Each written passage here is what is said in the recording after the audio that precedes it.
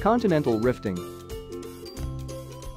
When continental plates rift away from each other, a rifted valley is formed.